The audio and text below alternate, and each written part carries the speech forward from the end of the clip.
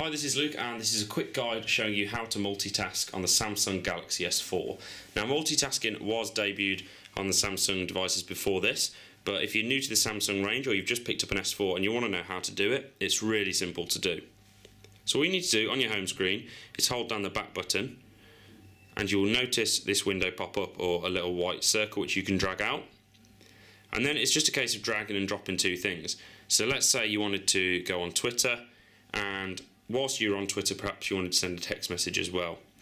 So you can drag and drop them onto your screen and you can slide up and down on there. You can grab the middle bar and make your messaging bigger, you can make it smaller, and so on. So it's really useful. Or perhaps you want to keep on top of your emails whilst you are watching a film or, or a video. So you can pop YouTube up there, make that bigger as well.